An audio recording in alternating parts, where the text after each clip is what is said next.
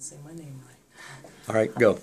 Hi, my name is Loreal Fry. I'm an art teacher at Sam Houston High School, and I believe that art belongs in everybody's life and everyday experience. So I'm getting involved in this mural project um, to bring art to you.